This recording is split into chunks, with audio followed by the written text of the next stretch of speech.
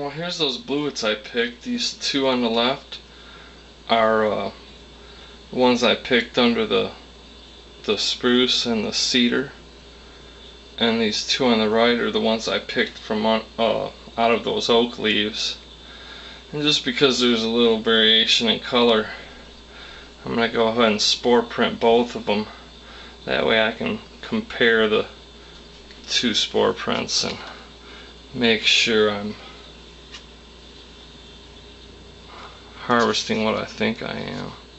And what I'll do for these bigger ones, I took a bigger one and a smaller one of each. Just take and trim it pretty low, trim the stem.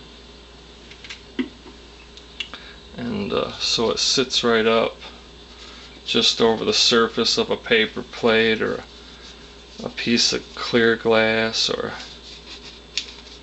piece of construction paper.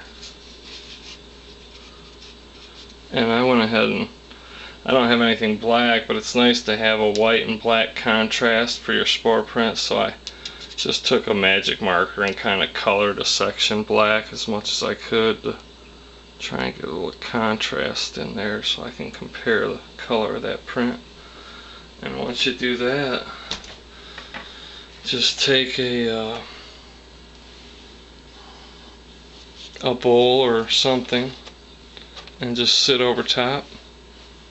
And that'll help keep a little bit of the moisture in and um, keep the air from blowing around and let those spores settle right on that paper plate and you can should be able to get a nice spore print that way. And we'll look at it later when it's uh, when it's taken to that paper plate. These are blewits again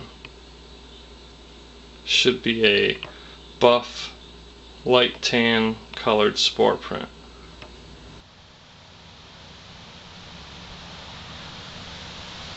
Alright, well, I figured I'd show this real quick. This is this those blewits that I took the spore print from. I just wanted to show the color of the spore print. Hopefully it'll show up.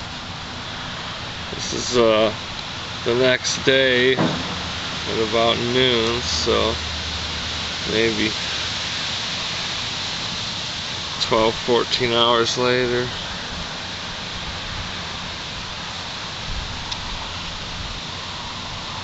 This one didn't seem to throw off much of a spore print. It could be because it's still quite small and young. You can tell the margin of the cap is still enrolled quite a bit there. But the three other ones did.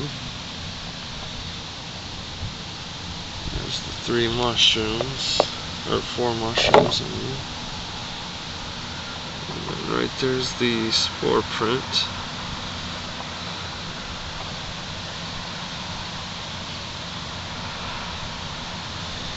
And the three that lay the spore print all came out that buff color which is like I said just like a you know light color light colored uh, Caucasian flesh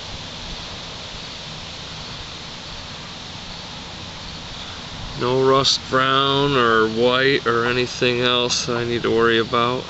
I can see a little bit of the print of that one that wouldn't take, didn't take right here, but it just left a very small amount. This black marker didn't work out good. For the blewit, it's actually best if you can have a black background, solid black. You can see the uh, color that print better on black because it's pretty light these sat for a while so they look maybe a little dark but it's because it's a real heavy print anyway figured I'd just show you that a wood blewit spore print